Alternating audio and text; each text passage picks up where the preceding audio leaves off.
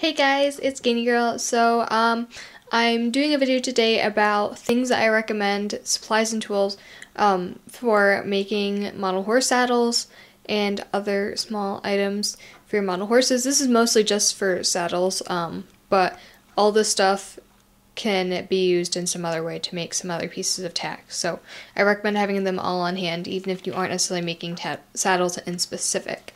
So first of all, what you're gonna want to start with every single time is a already made pattern.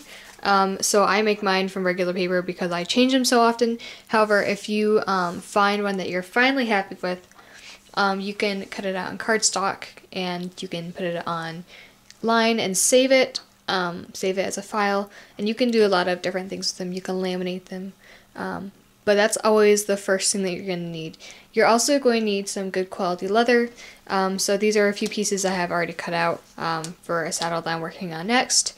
Um, and so this is from just regular tooling leather. I recently bought a couple of double shoulders um, from Tandy Leather. Um, as you can see, that little edge right there is all I've done so far, and I've done like three saddles, I think, and this entire thing is still left. Like, I haven't taken anything out of it, so it will last you a long time. They recently had a really big sale on leather, so I bought a couple, I bought two of these double um, shoulders, and it's pretty good. It's still kind of thick, and I mean, almost everything from model horse tack is going to be thick, but um, you just need to skive it down. So this area here in the back is where I have not skived, and this here is where I have taken a knife and literally shaved it down until it's thin enough for my liking. Um, so that's for the base of the leather, um, base of the saddle, uh, you know, just general pieces. Um, so I usually do this for the bottom flap, top flap, and the skirts. Um, for knee pads, panels, and the seat and piping I usually use Skiver and so Skiver is basically just some really really thin um, lambskin leather. This stuff here is already totally dyed. Um, but I mean at least so I'm kind of weird when I do my stuff. When I dye leather um, I usually dye a big chunk of Skiver and cut stuff out. But when I do stuff with um, the uh, tooling leather, I usually cut the pieces out and prep them and then I dye them. So I'm just weird like that. Everyone has their own preference. But this one has a couple colors on here. This one has black and brown. Um, but this is key for anything that requires a lot of bending around shapes. So as you can see, um, piping requires a lot of bending because I fold it in half. Um, seats require a lot of bending to get it around the back get it up in the front and all those little nooks and cranny and bending it around the knee roll is especially hard, a lot harder than it looks. So that's what you're going to need that for. Um, so as far as adhesives, I use, um, for leather in general, I use the Aleene's Tacky Glue. Um, that's not the right bottle. I have like the extra durable fast dry, whatever it is. Oh, turbo tacky glue, that's what it is. This is stuff that I use. That's an old bottle. I don't know why it's still here. Um, but it's it sticks well, it holds well, it's very strong, um, and really it's just perfect for leather working. Um, I also use super glue for some metal things and other things that um, are more in terms of strength. Like um, sometimes Actually, a lot of times when I'm gluing a piece of foam or leather to um, the metal seat tree that I make, I usually use super glue because it doesn't need to flex. So, because um, this is really flexible too, even when you glue it, and this is not, it cracks and stuff if you try to bend it. Um, so I usually glue this to it because I want it to be super strong and I want it to stay. So that's what I usually do. Um, so that's all the adhesives I use. I don't really use a whole lot else when I do that. Um, Oh yeah, and for leather, I also have kangaroo lace. This is from a kangaroo. Um, this is like the best leather you can get from model horses. It skives really well. Um, and usually they're really small, tight grain, which is really nice. And they're also usually not too thick because if you get um, cowhide leather, it usually is a lot thicker. And deer leather is usually pretty soft, so a lot of people don't use that. But it all just depends on your preference in terms of that. Um, because I mean, if you find a good roll of cowhide leather, there should be nothing stopping you from using it. Um, so yeah, as far as metal stuff goes, um, I always have a little bit of wire This I use for making tongues for buckles, or you can make buckles from scratch using this. Um, you can also make uh, D-rings, that was the other big one. And then I also have little head pins, and these are little metal pins, and they have little circular stops on the ends. And this is what I use on the little skirts here to represent nail heads that they put in actual saddles.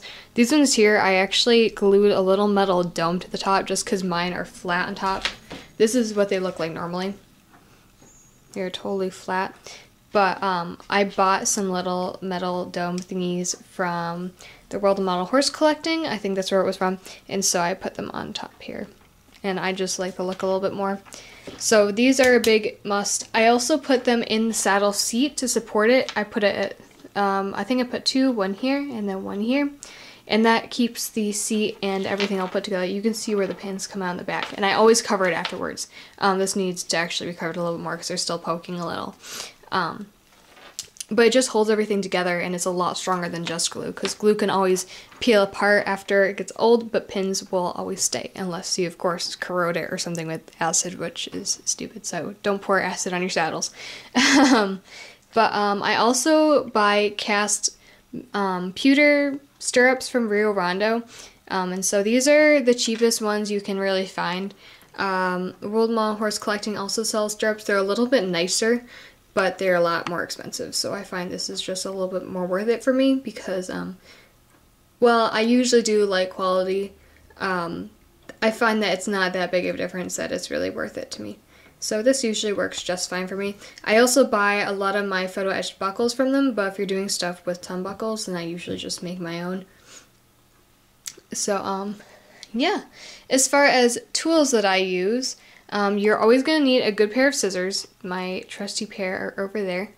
Um, nice strong scissors because when you're cutting through leather, you really got to make sure that it's sharp because otherwise you're going to mess up your leather sheet and it's not going to go through and it's just going to be awful. So make sure you have a good one. Um, I also have an X-Acto blade. This is like the number one tool besides scissors for me. Um, it's, it cuts, it skives. This is what I do when I'm um, thin leather, I'll run the blade across the back grain side, um, or the flesh side, I'm sorry, don't go across the grain, go across the flesh, and that thins it out. Um, I also have a stitch marker. This is actually just a pounce wheel from Tandy. Um, it's really nice. It makes the nice stitch marks that you'll see in saddles. It represents them at least. You can see them in here. They look like little stitches, but they're really just little dots. Um, little dents almost in the saddle, and it works really well.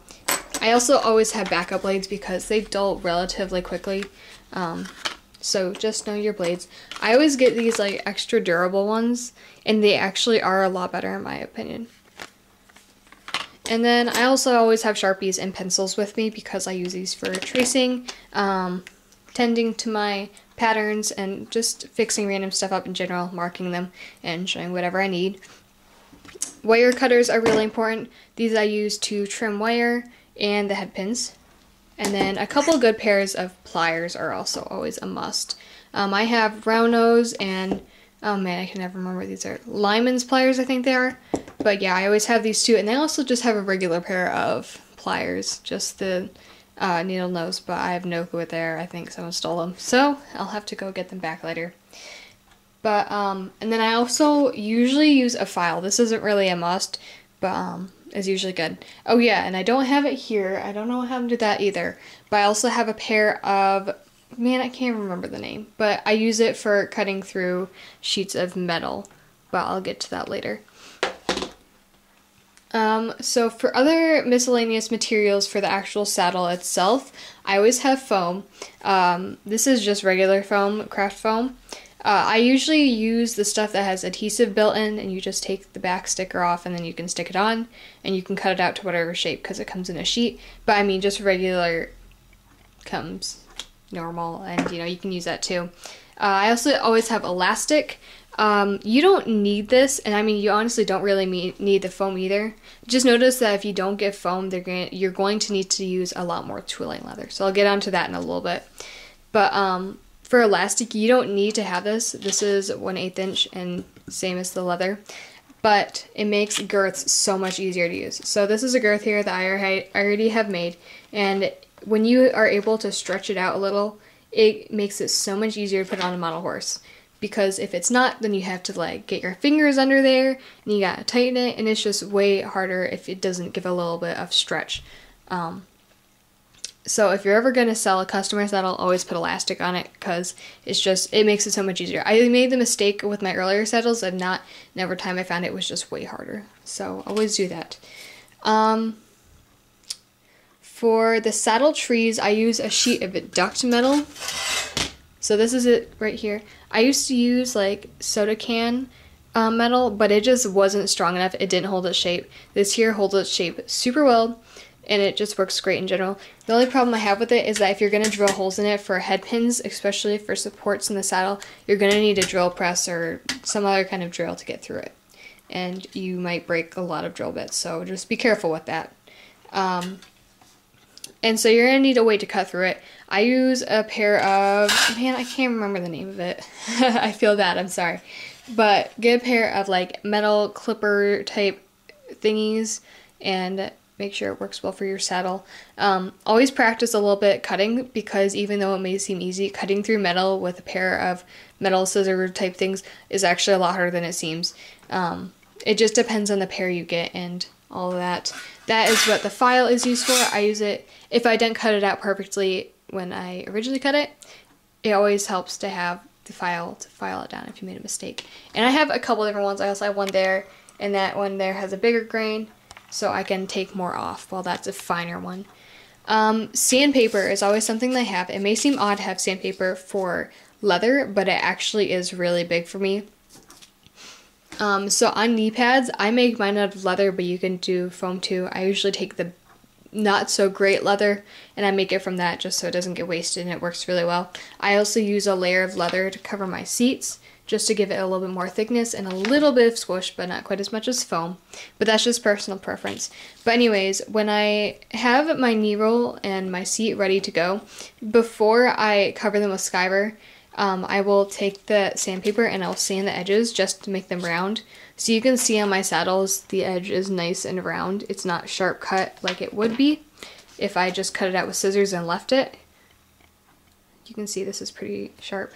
But um, yeah, so that's what I use that for, and that's always really important. Um, I use it on panels too. Neither of these saddles have panels, um, but I usually do, and those would then use sanding as well. Um, so if you also, if you do happen to put tongue buckles on your saddle, you're going to need a mechanical pencil. Um, this is a drafting pencil. Uh, you can try to read that brand. I have no clue how to say it, but it is the 0.5 size, which my camera is not going to show, but that's what it is. And so basically this is just a mechanical pencil and when I want to put a hole in my leather, I'll put it over the leather and I will hit the top with a hammer. Um, I always use my rubber mat for the hole punch just because I want to absorb some of the shock. Um, as far as if I use this plastic one, then I'm really scared that I am going to smash my pencil. So just um, know your own strength. It's, you know, always start lighter and if you need to, you can hit it again. Um, but this is really great um, because just poking holes with awls really doesn't seem to get it. It, do- it just doesn't seem to cut it. Um, like it literally doesn't cut it, it just pierces a hole in it. Um, but if you use this and it actually takes out a circle of leather and it removes it totally so that it makes it a lot easier. I actually have a video on that, I believe, on tongue buckles and that such, so I recommend viewing that if you're interested in doing stuff with tongues and buckles and that stuff. but um, also always have like a little pin or something to open it and clear it out. After a while, you'll have a bunch of leather clogged in the tip and then I will go in with this and just push it out. This is just a regular sewing pin that I took the tip off. So yeah, that works really well for me. I highly recommend doing that. Otherwise, it tends to not punch as well just because there's more crap jammed in there that you're going to have to push through when you punch through more leather. So just be careful with that. Um, but I think that's pretty much everything I use on my saddles. Um, oh, dye. That is other stuff that I wanted to get to. So for dye, I'm sorry, I almost forgot that.